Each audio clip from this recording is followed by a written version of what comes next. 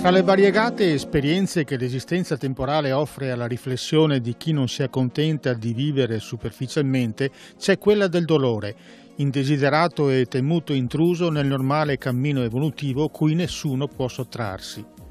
È una dimensione della realtà che paradossalmente costringe a cercare motivazioni profonde riguardo il senso della vita, apprezzare alla massima potenza il valore della salute compromessa, alimentare con la speranza di soluzione la consapevolezza della propria fede nell'ultrasensibile.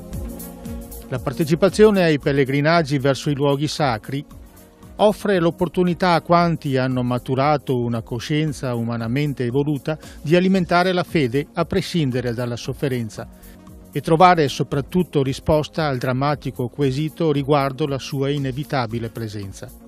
Questo, considerata la diffusa superficialità nella gestione dell'esistenza quotidiana, è quanto si può dire fatto miracoloso. Normalmente si pensa che la, la sofferenza sia una componente necessaria della vita. In realtà non è proprio così, eh, perché anche eh, Gesù ci ha insegnato che eh, vivere in Lui, vivere nella, nella fede, addirittura dà speranza, dà gioia. La sofferenza quindi eh, potrebbe essere considerata come una componente indesiderata della vita e anche evitabile della vita. Quando poi ci caschiamo, evidentemente, anche questa deve essere presa in un certo modo, da, attribuendo alla sofferenza un valore, non vivendola dal punto di vista della disperazione. Unitas è nata eh, in Italia nel 1903 eh, da una follia. Mm, un nobile romano eh, che apparteneva alla buona nobiltà romana e soffriva di una grave forma di artrite ed era quindi in una carrozzina eh, era stato, fra virgolette, costretto ad andare a Lourdes eh, perché doveva offrire la sua sofferenza al, al, Signore. Lui era molto arrabbiato invece con il Padre Eterno perché a vent'anni, nel periodo più florido della vita, si ritrovava inchiodato su una carrozzina e i suoi coetanei potevano invece vivere una vita normale. Ha accettato di andare a Lourdes, ma per fare un gesto clamoroso, uccidersi sotto la grotta. Nel viaggio a Lourdes, nei treni che allora non erano certo confortevoli, eh, erano treni con le panchine di legno, erano treni senza aria condizionata, lui è arrivato a Lourdes e ha visto un clima di preghiera, ma soprattutto un clima di aiuto vicendevole, dove c'erano delle altre persone che non erano familiari, che non erano amici, ma che si prestavano per aiutare chi come lui era in difficoltà. E allora quando è arrivato sotto la grotta, la pistola l'ha tirata fuori e l'ha consegnata al sacerdote che lo accompagnava accompagnava e gli ha detto io da oggi in poi mi impegnerò perché altre persone come me riescano a venire qui. E qui è nata Unitalsi, da un mancato suicidio è nata l'Unitalsi. Eh, anche noi ci occupiamo, nello spirito del nostro fondatore Giambattista Tomasi, di accompagnare chi non, non riesce ad andare da solo questo, nei santuari mariani. È Unitalsi non è solo Lourdes, Unitalsi è anche Terra Santa, è anche Fatima, è anche Loreto, ma è anche una pizza insieme, un gelato insieme, una condivisione di una cerimonia. Siamo molto presenti anche a livello diocesano, che nella nostra diocesi abbiamo un bellissimo rapporto eh, con la comunità diocesana, con il nostro vescovo che ha condiviso l'esperienza del pellegrinaggio con noi l'anno scorso e quindi eh, siamo presenti nelle parrocchie sempre con lo stesso spirito di accompagnare eh, le persone dove, eh, dove, non potrebbero arrivare.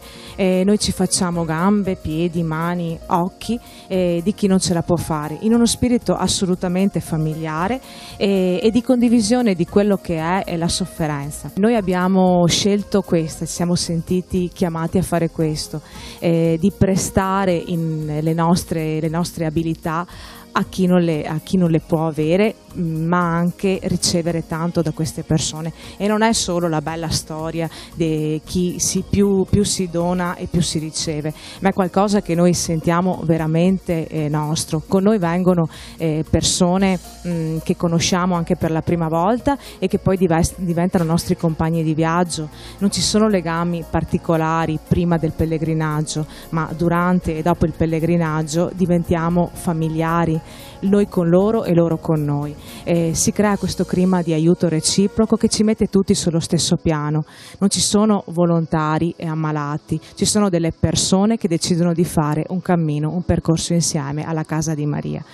Un'altra caratteristica molto importante dell'Unitassi è che i nostri viaggi sono condivisi anche da pellegrini, da persone che scelgono di viaggiare con noi, con le difficoltà anche con cui viaggiamo noi, con i nostri tempi, che non sono i tempi dei viaggi normali, perché eh, noi viaggiamo alla velocità del più lento, in un mondo che corre eh, noi eh, facciamo questo. E i nostri pellegrini condividono con noi eh, perché anche loro beneficiano di questo, di questo clima sereno che si instaura, perché la sofferenza insegna, a noi ha insegnato molto e ci sta continuando ad insegnare, ci insegna ad affrontare la vita di tutti i giorni, ci insegna ad andare avanti eh, sempre e comunque con uno spirito nuovo e ci fa conoscere amici nuovi.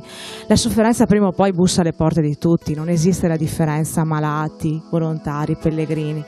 Il mondo è così, la nostra vita è così, ne dobbiamo prendere atto. Ecco che allora in Unitalsi troviamo proprio il modo per affrontare quello che agli occhi del mondo non è affrontabile o a volte è anche inspiegabile. Il pratico realismo con cui si tenta di comprendere il tema ci spinge anche ad analizzare situazioni diverse da quelle immediatamente individuabili nei casi di inabilità o malattia. Situazioni che a vari livelli appartengono a ogni esperienza umana e spesso sono necessarie alla crescita se potenziano la capacità di compatire. Potremmo anche distinguere fra il dolore, la sofferenza quindi sul piano fisico, e una sofferenza diversa che è più spirituale. La sofferenza sul piano fisico eh, potrebbe anche essere tranquillamente evitabile da parte dell'uomo. La sofferenza invece sul piano spirituale è una cosa diversa. In che senso? Ogni cammino evolutivo comporta sofferenza, comporta dolore, sul piano chiaramente spirituale. Perché? Ma perché quando si cresce si è costretti ad abbandonare quel mondo di certezze che si è costruito a un certo livello. Chiaramente saltando il gradino di qualità e si lasciano quelle certezze e bisogna acquisirne di nuove e questo porta sofferenza, decisamente. Questo tipo di sofferenza è fortemente evolutivo e solo questo tipo di sofferenza è necessario all'uomo. Quell'altro no, per cui soffrire per forza perché questo porta a crescita è un errore. Accettare la sofferenza perché porta a crescita, questo invece è corretto. È facilmente intuibile come la salute fisica, bene primario, non debba venire comunque considerato bene assoluto e indispensabile alla vita, che si manifesta ben oltre il limite delle percezioni sensoriali. Per comprendere l'enigma della sofferenza può senz'altro aiutare il confronto culturale e religioso con le diverse tradizioni nel mondo che da prospettive diverse elaborano da secoli la tematica in questione. E se guardiamo come nel nostro mondo si combattono le malattie, abbiamo un po' eh, chiarezza su quello che abbiamo detto. No? Noi combattiamo la malattia dando contro anche con le medicine. Cioè noi prendiamo delle sostanze che dovrebbero eh, mettere in moto dei processi di guarigione e creiamo degli ulteriori danni, perché tutte le medicine hanno degli effetti collaterali. No? l'orientale tende invece a risolvere il problema della sofferenza in maniera globale, cioè, quello che combatte la sofferenza è il modo in cui si deve vivere. È vero che loro avevano delle, delle conoscenze piano, sul piano scientifico decisamente inferiori alle nostre, non si parlava nemmeno allora di medicine, erano dei rimedi abbastanza così generali. Però molto aiutava nell'affrontare anche la malattia, oltre alle sofferenze di tipo evolutivo, proprio prendendole come un qualche cosa che nella vita può servire proprio per fare un passo avanti. Cristo è venuto nel nostro mondo per guarire e faceva miracoli. Dobbiamo pensare che chi va a Lourdes spera nel miracolo della guarigione? I miracoli come guarigioni inspiegabili sono molti a Lourdes, alcuni anche riconosciuti dalle autorità medica e religiosa. Ma non è questo il punto.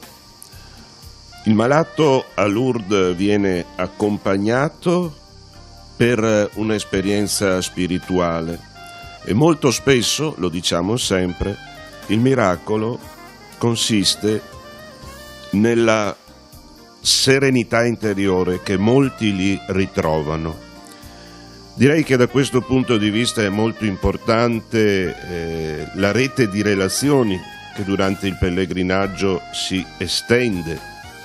E in particolare direi l'unità, sì, loro sono perfino stufi probabilmente di sentirlo, ha il carisma di accompagnare i malati, non semplicemente di trasportarli nei luoghi di pellegrinaggio e a Lourdes in particolare, ma di accompagnarli ogni volontario eh, si mette in una relazione significativa con una persona ammalata, una persona comunque in difficoltà. L'aiuta per tutto il cammino del pellegrinaggio eh, per raggiungere quella grotta, nel caso di Lourdes, in cui tante speranze sono riposte. Accompagnare vuol dire stare vicino, e credo che questo carisma poi debba essere vissuto anche all'interno delle comunità cristiane, delle nostre comunità cristiane. L'unitarsi ci insegna ad accompagnare, ad ess- a farsi prossimo, a farsi vicino e questo poi è il miracolo della solidarietà, che è dono che viene da Dio ed è anche impegno della persona che vuole vivere autenticamente il Vangelo.